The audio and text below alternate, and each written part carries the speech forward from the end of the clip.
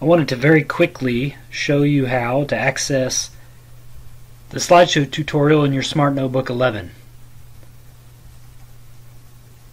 You're going to open up your Smart Notebook 11 and generally when you open it for the first time it pops up with a tutorial but for a lot of us we were very quickly trying to get um, some use out of our smartboard so we sort of flew right by it. I'm going to show you how to access it even if it doesn't come up when you start up Smart Notebook. It's very simple. All you do is you go up to Help, click on Help, and then find Smart Notebook Tutorial.